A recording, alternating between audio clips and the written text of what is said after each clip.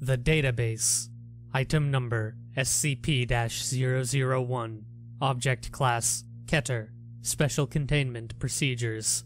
There is no means to contain SCP 001 yet found that does not risk a potential ZK reality failure event and subsequent destruction of the observable universe. See Containment Protocol ZK 001 Alpha.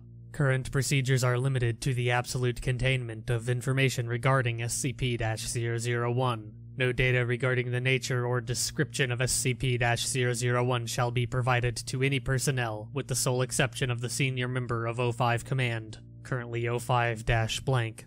All data collected in regard to SCP 001 shall be stored in encrypted form via Redacted, with the decryption key split into thirds. Each member of O5 Command shall memorize one third, and only one third, of the decryption key. Data shall only be decrypted on a network isolated eyes only terminal to be read only by the senior member of O5 Command, and then only after the unanimous consent of O5 Command.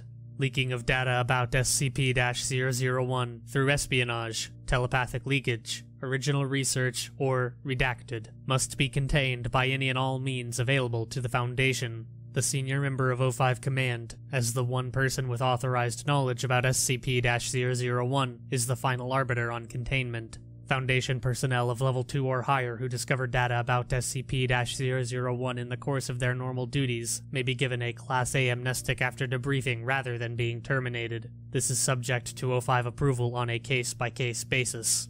Description: Data expunged. Addendum: Containment Log 001-Alpha. Date: January 12th, 19 blank. Incident. Documents appear on internet site redacted. Servers seized and authors traced to redacted. Resulting explosion explained as gas leak. Monitoring has not shown any further propagation of documents. Date. March 31st, 19 blank. Incident. Script with possibly compromising information optioned for production by blank pictures. Original scriptwriter redacted. Agents successfully replace script with one rewritten about redacted. Film is produced with title blank and grosses $27 million its opening weekend. Date June 19th, 19 blank. Incident Novel outline describing redacted submitted to redacted by best-selling author blank. Attempt to neutralize author unsuccessful, leading to high-profile hospitalization. O5 authorizes the use of Class A amnestic to prevent more attention to case. Outline recovered and destroyed. Dip blank. T- oh, 5, 20 blank, 2000 blank Z. Sedent blank.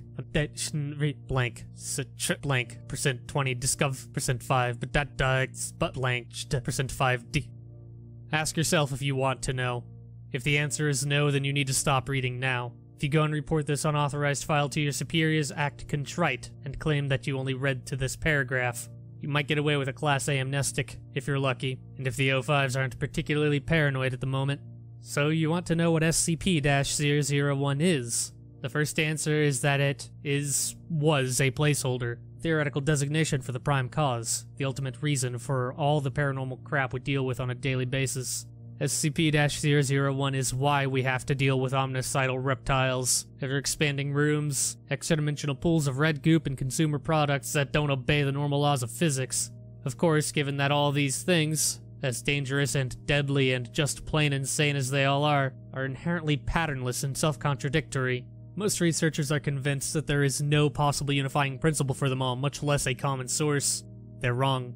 There's more than one reason that cross-testing is discouraged, and the O5s even look down on excessive cross-referencing of SCPs. The O5s don't want any one group looking at more than a handful of these things at once, because of what they discovered when the Foundation tried to develop a grand unified theory of SCPs. That research is mostly gone now. Site-001 Alpha was dismantled, scrubbed from the archives, the staff mind-wiped and reassigned. No one left but me, and I wouldn't know anything if it wasn't my habit of not trusting the Foundation servers and having my own hidden personal archive the O5s missed in their panic. I was a data analyst at Site-001 Alpha. No to O5 command, don't bother looking for me, I finished the job you started. The identities of all former staff at Site-001 Alpha have been completely scrubbed from the records. You know as much as they do now and I participated in the first and only attempt to consolidate all Foundation data on all SCPs. I was in charge of data integrity. It as much of a mess as you might think that was, it was an order of magnitude worse. Forget the memetic SCPs or the ones that modify their own description, or the ones that seem to only inhabit infospace and slip into the database to wreak havoc. That's all SOP for anyone who works with the Foundation's network, just a matter of scale. Worse with the completely inexplicable, unexpected changes in data. Sorry, that's wrong, even though I can't help thinking of it that way. It isn't a change in data when reality is shifting to match.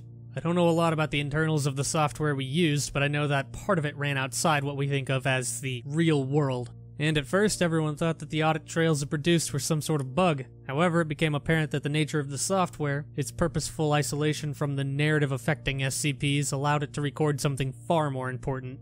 It's not visible to you or the O5s or even to most of the SCPs we deal with, but the Foundation, and by extension the entire universe, is in a state of constant shifting reality flux.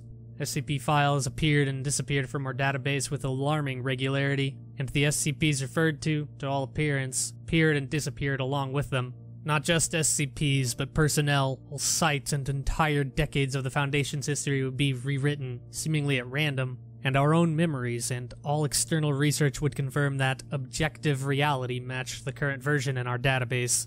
One of the researchers told me that it was as if we were seeing the effect of something like SCP-140, only much larger in scale. Yeah, something a lot like SCP-140, and infinitely larger in scale. I don't know who did the analysis, and if I did, I wouldn't say. She's probably a lot happier not knowing about her own discovery, but she looked at what vanished and what appeared and what subtly changed in the records, and she found the pattern. The drift toward darkness, toward narrative coherence, toward a plot, Everyone who works any length of time at the Foundation knows the universe we live in is a seriously fucked up place. Those of us who still believe in God tend towards serious ambivalence about his handiwork, but we found out that there is a God and it is SCP-001, and it's a bunch of horror writers. Addendum Emergency Containment Protocol ZK-001-Alpha O5 eyes only. Enter decryption key. Decryption key accepted. Note Containment Protocol ZK-001-Alpha carries a non-zero risk of creating a ZK reality failure event. Use should only be authorized in an attempt to mitigate an end-of-the-world scenario or the imminent destruction of the Foundation. Research at Site-001 Gamma has conducted narrative analysis on SCP-001's changes to the observable universe. Conclusions are that SCP-001 consists of multiple entities showing cognitive patterns that are indistinguishable from human, and that these entities are therefore susceptible to memetic effects. Since prior experiments have shown information feedback via the SCP data warehouse, a possible method of attack and or control has been developed. Protocol ZK-001-Alpha, when initiated, will cause a software viral insertion of a variety of memetic agents into the SCP database which, through the observed information feedback, should expose SCP-001 to the memetic effects of these agents. Protocol ZK-001-Alpha consists of three stages. 1. Memetic agents inserted to promote calm and or well-being. 2. Memetic agents inserted to promote sleep, unconsciousness, or catatonia. 3. Memetic agents inserted to cause death. Given the nature of SCP-001 and our limited interaction with it, it is not possible at this time to safely test Protocol ZK-001-Alpha, and it is unknown if the universe can continue to exist without interaction with SCP-001.